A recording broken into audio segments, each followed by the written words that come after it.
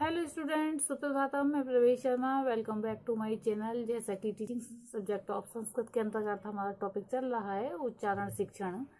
तो उसी के अंतर्गत देखेंगे हम संस्कृत भाषा में उच्चारण के प्रमुख तत्व। तो कौन कौन से तत्व ऐसे हैं जो कि संस्कृत के उच्चारण में आवश्यक हो जाते हैं? तो इससे पहले हम थोड़ा सा इसका इंट्रोडक्शन देख लेते हैं। महर्षि पाणि ने वर्णोच्चारण के संबंध में कुछ एक श्लोक लिखा है, जो कि बहुत ही महत्वपूर्ण है। व्याघ्री यथा अहरेत पुत्रान दृष्टाभ्याम, न च पीड़ित भीता पतन वेदाभ्याम, तदवर्णान प्रयोजित। अर्थात जिस प्रकार व्याघ्री अपने पुत्रों यानी बच्चों को मुँह में लेकर चलते समय इस बात का ध्यान रखती है कि ना तो पुत्रों यानी बच्चों को दांत चुभे और ना ही वे बच्चे मुँह से गिर जाएँ। इसी प्रकार से वर्णों का स्पष्ट और शुद्ध उच्चारण होना चाहिए। वे मुँह के अंदर दबकर ही ना रह जाएँ। कभी कभी ऐसा होता है कि कोई भी व्यक्ति सामने वाले व्यक्ति से बात कर रहा होता है तो उस समय होता क्या है कि सामने वाला व्यक्ति व्यक्ति बहुत ज़्यादा समझने की कोशिश करता है, लेकिन वह समझ में नहीं आ पाता है। कारण ये होता है कि उसके मुँह में ही वह शब्द दबकर रह जाते हैं, बाहर निकल ही नहीं पाते हैं। और कई बार कई लोग इस तरह से उच्चारण करते हैं कि उनके शब्द गिरे हुए से लगते हैं, कहने का तात्पर्य कि वे इतने उस तरीके से बोलते हैं कि उनके शब्द गिरे गिरे या टूटे हुए हुए जैसे दिखाई देते हैं। यहाँ पढ़ने का तात्पर्य है कि वर्ण का उच्चारण करते समय यथोचित स्वरित और स्थान आदि का प्रयोग किया जाना चाहिए। अब हम देखते हैं कि कौन कौन से पॉइंट्स हैं जो कि इसके लिए आवश्यक हैं, यानी कौन कौन से एलिमेंट्स हैं।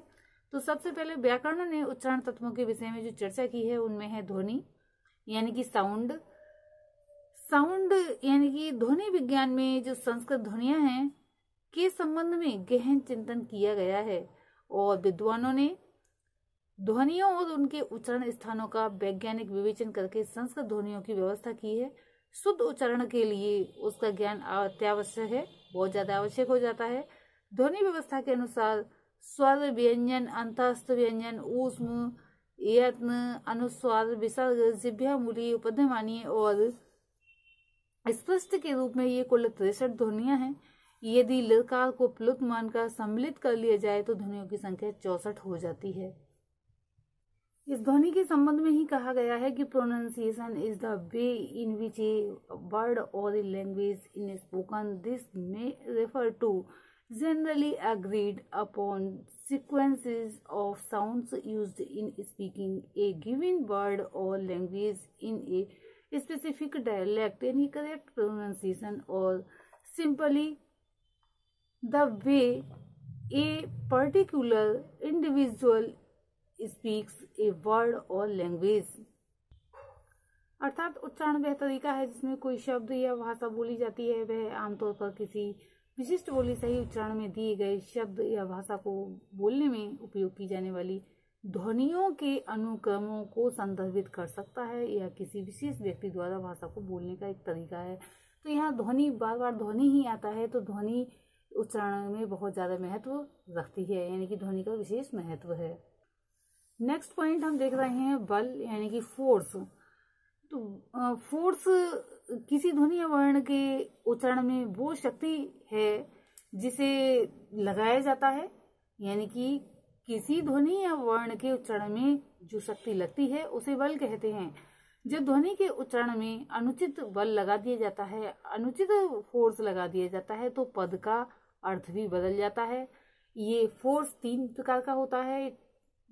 जैसे कि वर्ण बल, सबसे पहले जो दिया है, वर्ण बल, शब्द बल और वाक्य बल। तो सबसे पहले हम देखेंगे वर्ण बल, यानी कि लेटर फोर्स जब उच्चारण करते समय किसी वर्ण विशेष पर बल दिया जाता है तो उसे वर्ण बल कहते हैं। जैसे, आचार्य देवो भवा। तो यहाँ जैसे आ पर ज़्यादा फोर्स डाला जा रहा है, या अगर वक्ता किसी दूसरे उस पर डाल देगा वर्ण पर, तब वह वर्णबल कहलाएगा, यानी कि लेटर फोर्स कहलाएगा। नेक्स्ट पॉइंट है शब्द बल शब्द बल अर्थात वर्ड फोर्स जब वाक्य में किसी शब्द विशेष पर बल दिया जाता है तो इसे शब्द बल कहते हैं। जैसे नैनम दहती पाव का या दूसरा कोई श्लोक लिया जा सकता है। विद्या ददाति विनियम विनियादि पात्रता पात्र तो आ धनम आपनोति धनाद धर्म तथा सुखम। तो यहाँ पर जो विद्या है, विद्या शब्द पर विशेष बल दिया जा रहा है तो ये वर्ड फोर्स के अंतर्गत आता है। नेक्स्ट पॉइंट हमारा वाक्य बल यानी कि सेंटेंस फोर्स जब पढ़ते समय, यानी कि उच्चारण करते समय पूरे वाक्य पर बल दिया जाता है तो उसे शब्द बल कहते हैं। जैसे कह सकते हैं, नैनम दहती पाव का तो इसके इसी तरह से वाक्य बल आ जाता है। तो वाक्य बल में हम कह सकते हैं, जब पढ़ते समय पूरे वाक्य पर बल दिया जाता है तो उसे वाक्य बल कहते हैं। जैसे परित्राणाय, साधु नाम, ये पूरे वाक्य पर जब बल दिया जाता है फोर्स लगाया जा रहा है तो इसके लिए वाक्य बल, यानी कि सेंटेंस फोर्स कहेंगे। नेक्स्ट पॉइंट है ले रैम उच्चारण में रैम का विशेष महत्व है। इसके साथ ही किया गया उच्चारण जो है इफ़ेक्टिव होता है। उच्चारण करते समय वर्णों के मध्य समान बल देने को जो है ले कहते हैं। नेक्स्ट पॉइंट है हमारा यदि या फिर विराम यानी कि स्टॉप उच्चारण में स्टॉप का प्रयोग महत्वपूर्ण है। विराम का, यानी कि स्टॉप का शाब्दिक अर्थ है, एक क्षण के लिए विश्राम करना या रुकना। वाक्य या अनुच्छेद को पढ़ते या उच्चारण करते समय उसमें प्रयुक्त विराम चिन्हों के अनुसार रुक रुक कर पढ़ने से लंबे वाक्य भी सरल एवं सुबोध बन जाते हैं और उच्चारण भी सरल और शुद्ध हो जाता है। अतः शुद्ध उच्चारण के लिए छात्रों को विराम चिन्हों का अभ्यास कराना चाहिए। कहने का तात्पर्य यह है कि प्राइमरी कक्षाएँ, माध्यमिक कक्षाएँ या फिर जूनियर कक्षाएँ जो होती हैं, उनके छात्र ज़्यादा परिपक्व नहीं होते हैं क्योंकि वे पढ़ रहे होते हैं। अतः उन्हें इन चीज़ों का ध्यान रखवा कर ही अध्ययन कार्य कराना चाहिए। और जब इन बातों का ध्यान रखकर अध्ययन कार्य करते हैं तो उन्हें पूरी तरह से वाक्य समझ में आ जाते हैं, सार समझ में आ जाता है और पूरा टेक्स्ट भी समझ में आ जाता है। नेक्स्ट पॉइंट है गति। जब शब्द समूह या वाक्यों को धारा प्रवाह में बोलना हो या फिर धारा प्रवाह में बोलना गति इनका कहा जाता है, उच्चारण को जो है प्रभावशाली बनाने के लिए यथोचित गति का प्रयोग आवश्यक हो जाता है। उसे उचित अभ्यास द्वारा छात्रों को सिखाया जा सकता है। नेक्स्ट पॉइंट है हमारा स्वराघात एक्सेंट। उच्चारण में स्वराघात का भी महत्वपूर्ण स्थान है। स्वराघात से तात्पर्य ध्वनियों का समुचित आरोह अवरोह के साथ उच्चारण करने से है। शुद्ध उच्चारण के लिए छात्रों को इसका भी प्रशिक्षण दिया जाना चाहिए। तो व्याकरणों ने जो व्याकरणों यानी कि विद्वान जो हैं, संस्कृत के आचार्य हैं, उन्होंने जो मुख्य तत्व बताए हैं, ध्वनि, बल वर्ण बल शब्द बल और वाक्य बल लय, यति, या विराम, गति और स्वराघात ये मुख्य तत्व बताए हैं। इनका ध्यान रखना चाहिए, तभी उच्चारण जो है परफेक्ट होता है और इसमें अशुद्धि की आशंका मात्र भी नहीं रहती है।